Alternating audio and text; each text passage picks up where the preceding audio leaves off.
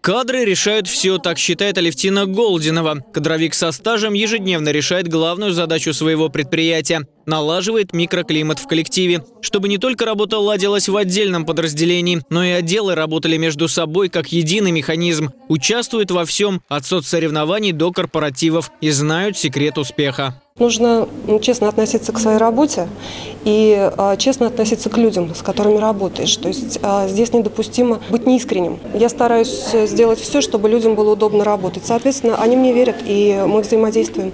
Кто лучший хедхантер, то есть охотник за специалистами в отдельно взятой отрасли в Поволжье, определил самарский конкурс профессионального мастерства. Кроме местных кадровиков, за победу и приз в 5000 рублей боролись номинанты еще из восьми регионов в 11 категориях. Управление персоналом, корпоративная политика, организация труда, развитие персонала, трудовое законодательство, обеспечение организации персоналом и его занятости. Каждый член жюри отдельно оценивал конкурсные работы, баллы складывались. Так получался рейтинг призеров и победителей. Еще одна новинка конкурса профмастерства – работы были безымянными, они шли под номерами. И только после выставления всех оценок лот вскрывали и становилось ясно, кто лучший кадровик по Волжье. Самарские специалисты заняли пять первых мест. Сергей Кизоркин, Григорий Плешаков. События.